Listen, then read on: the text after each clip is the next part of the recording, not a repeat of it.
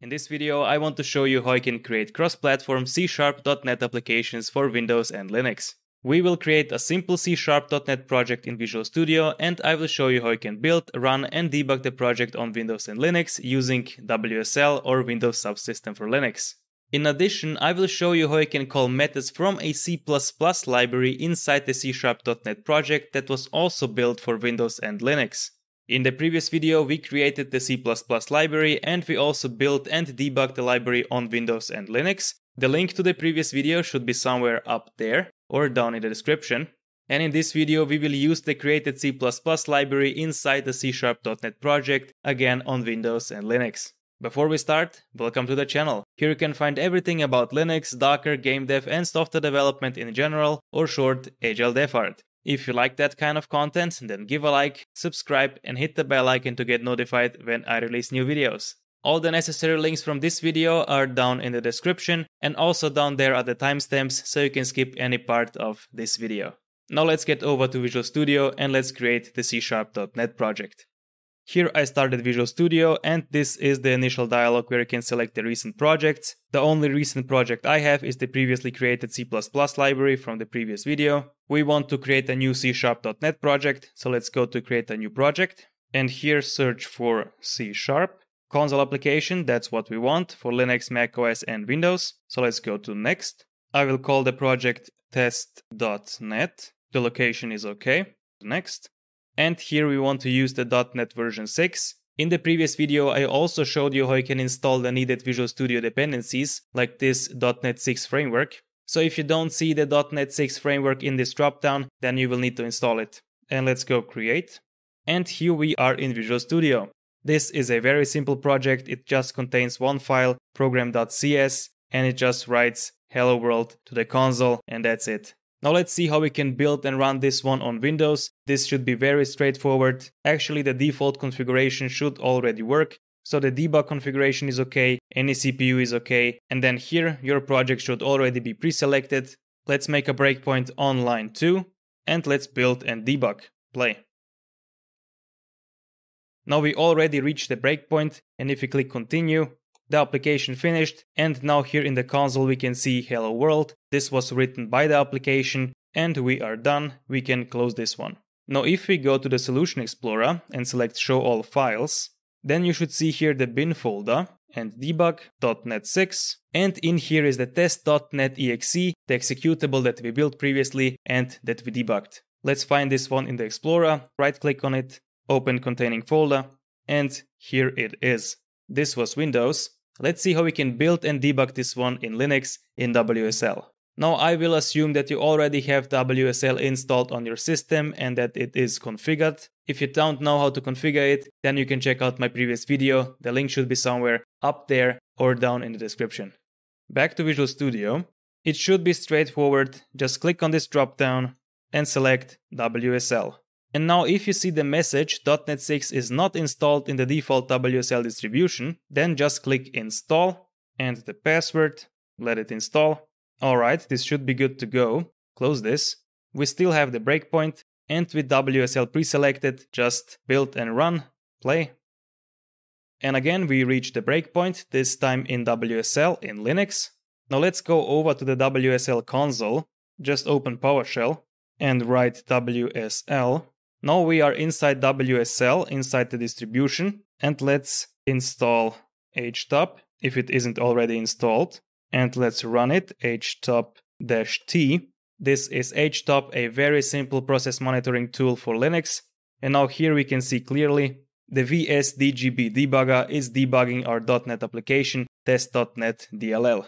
If we go back to Visual Studio and if we just continue, the application finished, and down here in the debug console we can see hello world. This was written by the Linux application inside WSL. And again, if we look at htop, and also here in htop we can see that the debugging session finished. Now in htop we saw that the debugged application was actually this one test.net DLL. So yes, you can run the same .NET 6 DLL inside Windows and Linux. Now let's see how we can call methods from a C++ library inside this C Sharp project. As mentioned, we created the C++ library in the previous video, and now in this video we will call some methods from the library. Now let's go over to the library project just to see what it is. This is the C++ library project. It contains only one source file and only one header file. The source file contains only three functions. The hello function that writes hello from and then the name of the OS, which will be either Windows or Linux. Then the string func function, which just takes a string as an argument and then just writes hello and the string. Then the function foo func, which gets a foo structure as an argument, and then it just writes out the members of the foo structure. And that's about it. Now let's call those methods from the C Sharp project. Now this is the same C Sharp project that we used before. I just changed the source here a bit. As you can see here, we added those three methods. Those three methods will come from the testlib library that I showed you previously. Up here is also the foo structure definition that we use in the third method. And down here is the main entry point. Here we just call those three methods and just write to the console hello world as in the previous example. The only thing left is to just reference the library. Since we want to use the C-sharp application on Windows and Linux, we need to reference both versions of the C++ library, the Windows version and the Linux version. To add the Windows version, just right-click on the project, go to Add, Existing Item. Here change the file filter to All Files, and then just navigate to the library's project folder, testlib, and we build it inside the out folder, build x64 debug testlib, and here it is, testlibdll. And add. As you can see here it is, testlibdll. It was added. And down here the properties, we need to change copy to output directory to copy if newer. Alright, let's add the Linux version. Again, right click on the project, add existing item. Again, change the filter to all files. Now, as I have shown in the previous video, the library for Linux was built inside WSL. Now let's find the folder. Go to Linux, Ubuntu, and it was built inside my user folder .vs test lib here it is out build linux debug test lib and here it is libtestlib.so let's add it add here it is it was added and again under properties change copy to output directory to copy if newer. And that's about it. Let's try it out. I will make a breakpoint here at hello at the first method call. Let's try it first for windows so change this one to test.net and let's start and debug. And we reach the breakpoint, here we are. Now let's step over it by pressing F10 or by pressing this button here. Now we stepped over this one, let's check the command line. And yes, the hello method just wrote hello from Windows. So we know this is from the C++ library. Now let's let it run till the end, continue, application finished. And this is what was written to the console. So we have hello Oleg, this was written by the string func method, and then the third line was written by the foo func method, which wrote the members of the foo structure, and the last line hello world was written here in C sharp. This was Windows, now let's try this on Linux with WSL. And let's change the platform to WSL. Let's try it out, build and run. Again, we reach the breakpoint, this time in Linux. Now let's step over it. The method was executed, and if you switch to output, here you can see the Linux console and it wrote hello from Linux. So this was written by the Linux C++ DLL.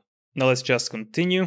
And then down here we can see the output from the second method, the string func, hello Oleg, and the output from the third method, foofunc. And at the end, hello world from C sharp. And that was Linux in WSL. As you can see, C Sharp is smart enough to distinguish which library to call. On Windows, it calls the native testlibdll library for Windows, and on Linux it calls the libtestlibso library. Now just to show you inside the build folder, both of those libraries were actually copied to the output folder, and that's why the C-sharp application could find those. I need to mention this example was originally written by Oleg Tarasov, and I got it from this article, and this article perfectly describes in detail what we just did. It is an excellent starting point if you're starting with cross-platform development. I can only recommend it, so check it out. The link is in the description. And that's it for this video. Thank you very much for watching. If you like dev related content, then you can find more on my channel and there is even more to come. So please like, subscribe and hit the bell icon to get notified when I release new videos. Thank you very much and I'll see you in the next video. Bye.